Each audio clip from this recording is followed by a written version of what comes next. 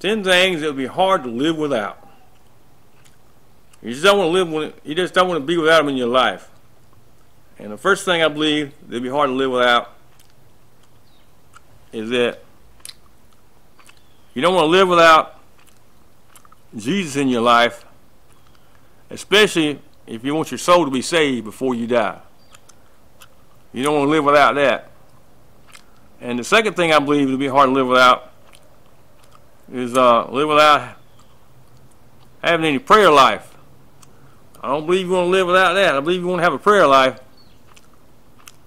I'm not so sure about you, but I got to have a prayer life.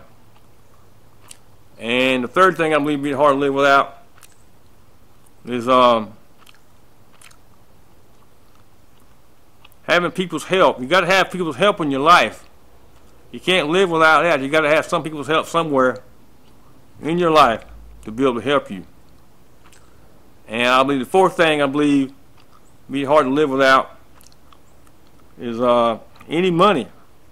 If you ain't got any money, you just flat broke. You don't have any money at all. You just in bad shape. You know, you hard to live without that. You know, you'd be really down and out if you, if you don't have any money. And I believe the fifth thing to be hard to live without is to uh, live without any good health in your life or having a way to keep your in health and good standing have some adequate equipment to work out with. I believe you have to have that, you know, and you don't want to live without it. And the sixth thing I believe would be hard to live without is to not have very much com communication in your life. You won't have enough communication in your life. You won't have enough communication in your life. You won't have a good social life.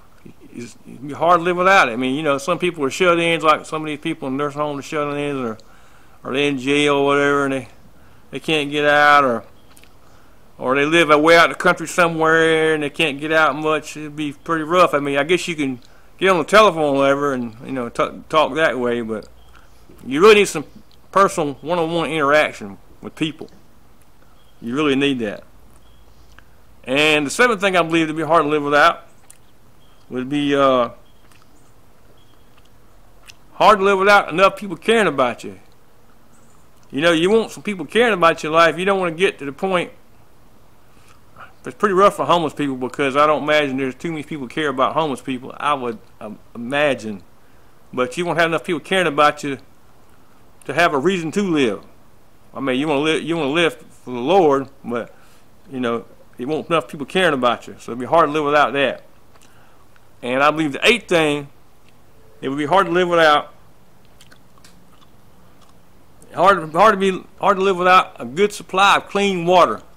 You got to have some clean water to be able to make it. I mean, you don't want to be drinking any dirty water like some of these people in these third world countries. They they have a hard time getting any really half decent water. But if you live in a good country, just be thankful you can get you some good water because it'd be hard to live without it.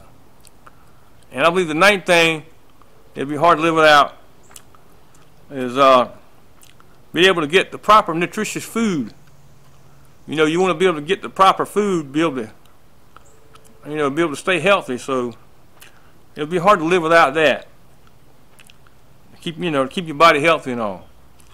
And the tenth and final thing that I believe it would be hard to live without is that hard to be live without the proper bed to sleep on. You want to have something good to sleep on, you know, you don't want to be sleeping on a ground or whatever and be some terrible sleeping. So you got to get you got to get your plenty plenty of good rest there, if you can.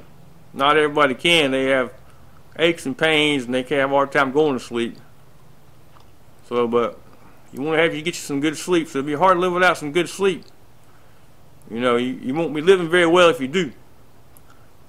And that, my friends, are 10, 10 things I believe that would be hard to live without.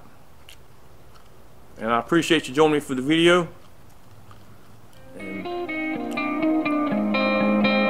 glad you